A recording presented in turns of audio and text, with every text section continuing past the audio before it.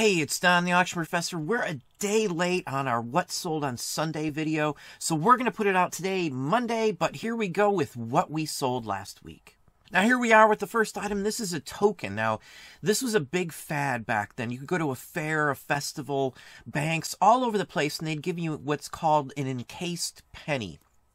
It's encased with a marketing ploy on the outside of it, so they technically haven't altered the coin itself and you could still technically remove it if you wish. I sell a ton of these. I've sold probably 50 or 60 of these in the last couple years. They do sell very well, and most everyone that I have, regardless of the age, still sells. I had somebody tell me they only sell if they're um, wheat pennies, and this is 1970, which is not a wheat penny. So anyway, good sale, 20 bucks, paid a dollar for it. Now, I sold a bunch of labels, and I do mean a bunch. So I'm just going to show you quite a few real quick here. I'm not going to make this a super long video uh, this week because I got a lot of stuff going on.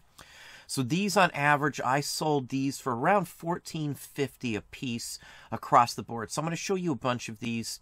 This is just some of what we sold in these labels. I sold many more than this, believe it or not. So this is the first one.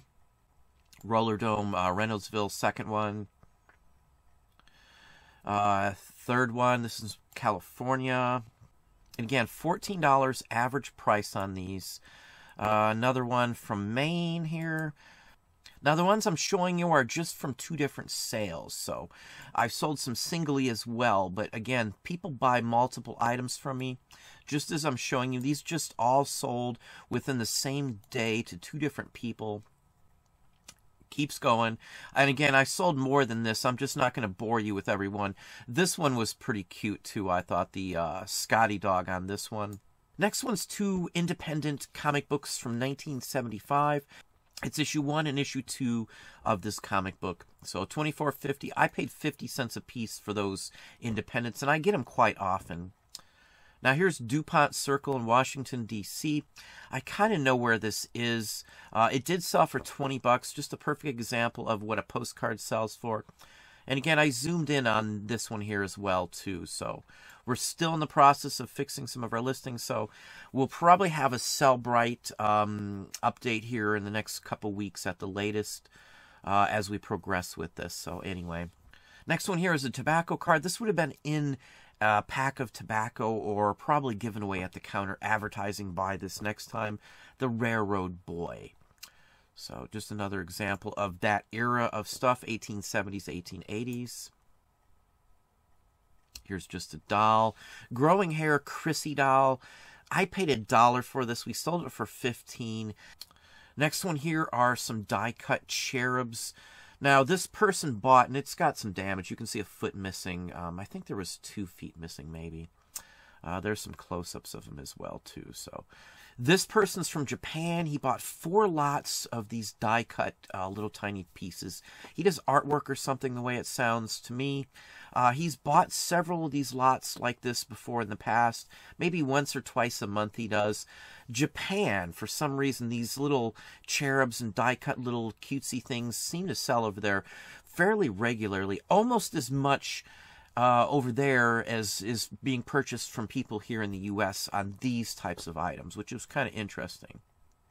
Now, the next one's a Raphael Tuck. This is a movable figure. It's damaged. It's got a big rip down the middle. It's literally separated. It's got a missing hand, creases. It's still a rare item. Had this not been damaged, um, the arms move for one thing. It, it would have sold for a real pretty penny, probably a hundred bucks or better. I would imagine someone's going to repair this. I just didn't want to mess with it because once you obliterate the back where the Raphael Tuck sign is, it's hard to show that that's what this is. So anyway, it sold for um, 1850 literally the exact price I had on it. Kind of surprised. I figured an offer would have come in on that first. Now, the next one here is a Statue of Liberty trade card. Liberty enlightening the world is basically what is the sign of peace and everybody's welcome. This was a big symbol back then.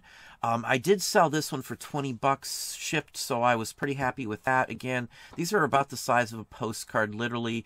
Postcards three and a half by five and a half. This is three by five and a half, which are the same size as postcards. So many times you can find stuff like this in big lots of postcards. Next one here is a postcard. I sold a mess of Easter ones. I could have showed you just a nice long section of Easter postcards, um, but I've been showing them pretty much in almost every week, so didn't really want to do that. This one was pretty interesting. It was a cute little cherub. It has a Winsch back, if you're not familiar. Those five squares on either corner with the leaves up there are typical of uh, John Winsch. Can't say for sure. Um, probably should have put that in the title. Either way, it still sold for twelve fifty, which is what I was asking for it. Next one's a 1943 Popular Photography vintage magazine. It's got a World War II uh, photographer, war photographer on the cover. So 1750, real nice condition. Um, it sat for a little while, but I'm fine. I still I paid a dollar or less for this magazine here. Another postcard. Uh, this one went for 15 bucks on this one.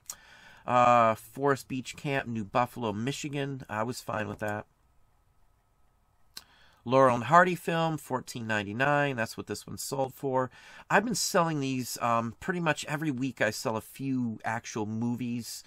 Uh, so this is something that you'll put up a bunch if you get a huge assortment of them. You'll sell some right away, and then from there on out, you'll have a residual income from these types of material. At least that's what I, I have happen with these. Now, this one here came from an optometrist's case that I bought. It was um, actually repairable pieces, a ton of lenses and things to actually swap out, and it had a ton of these tags in it. And I've been selling these for quite some time. 10 to 20 bucks a piece is what I average on these. I sold several more of these now. They're brand new. They've never been used. Anybody having a vintage pair of Bausch & Lomb and wanting to set up something or wanting to keep as original as they can get would want this. A display case, and museums have bought these from me before. It's a pretty interesting item. It's a foil, uh, all metal label with a paper backing on it. And here's just another one as well. They're really small, as you can see. They're three quarters of an inch uh, wide and maybe two and a half inches, or two, yeah, about two and a half inches tall. So, and this is on for 14 and one tenth 12 karat gold, which is what these were advertising another postcard. I took 20 on this. This has been up for a while. The missions in California just don't go for a ton of money unless it's something really odd. This wasn't that odd, so I'm happy with that. This was a 50 cent card. Wasn't up very long either, too, so. Now back to the labels again. I purchased a whole bunch from someone's collection. These look like they were samples. At one time, you could write a company and they would mail you labels and they would stamp sample in it so it couldn't be used or sold.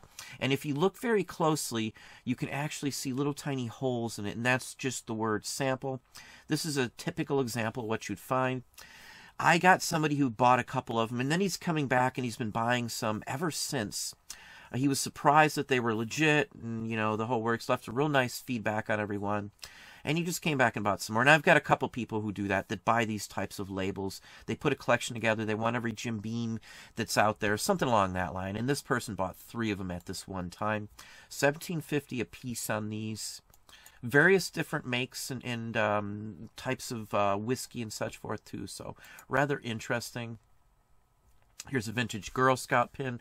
Now, I took 10 bucks on this. It's a tiny, tiny little pin um, there's glue on the back. It had some issues. It's been around for a while. So if somebody wanted it for 10, I think that's pretty fair considering the conditions. So I threw a price up there. There's nothing to compare some of these items to, but I know from, you know, past experience which ones sell for a super high amount because of how the eagle looks, or I should say how the trifoil looks. If it has an eagle, it's usually better. If it has seven stars or better, it's usually a better piece. Usually the typical ones have four on the eagle's shield and the Girl Scout pins. So anyway, 10 bucks on that one. Uh, this is a little lot of bookmarks, and they did sell for 1850 Somebody had asked about bookmarks, so I thought I would throw this in there. I sell bookmarks probably every week. I sell a lot or two, sometimes four, five, six, seven lots of bookmarks, just bookmarks. They sell routinely all year round, no matter what. This one went to England, so they spent 1850 on the item, and then they spent 1475, I think is what the shipping is to England from where we're at. Um, so again, they spent some money on these. There's four of them. They're Victorian, 1870s, early 1880s. Really nice item. Never been touched. Um, literally looks like they just were printed the other day. Not, of course, they're vintage originals. Now here is a tobacco silk. Now this person here bought this one and they bought another one which I'll show you in a few moments. It did go for 45 bucks. It's the smaller size silk. Pretty decent condition. It's got some fraying as you can see on the top. The discoloration didn't save it and the sides the same thing. So it has some issues. That's typical what you find. Even when these sometimes are new, they'll have issues like that. So 45 bucks on this one. Another roller skating rink label. This is from another person. 20 bucks on this one. Now this one here did sell for 75. This is another silk. Now the next one here is another lot of these. Now if you look in last week's what sold, you'll see I sold another set of these for 45. This is the second set of these stamps for 45 bucks. Again, I had a ton of them. I separated them so it's one of each color of the same building. And it seems to sell as a topical collection. Um, somebody will want it for a collection on a wall, or they liked that building, or they're putting a display together. These items sell fairly well. This would be a fantasy piece a Cinderella, so to speak, a poster stamp as well. They're regular stamp sized, so it's just a typical example of what we do sell. I've got nothing into this, and I've got a ton of these that we've sold for the last year and a half. A couple of these every month I've been selling. So again, you invest a little bit here, and then it trickles on out through a uh, length of time. Usually you get your money back immediately if you've got some good items. It just works for us that way.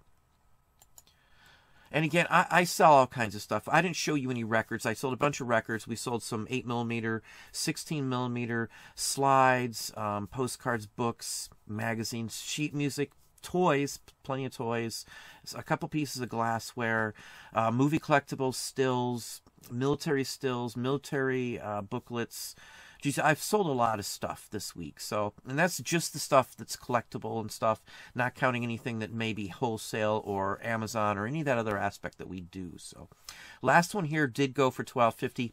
This is about one inch by an inch and a half or so. It's just a small little sticker that would have been stuck onto a a mail, a piece of mail or something like that.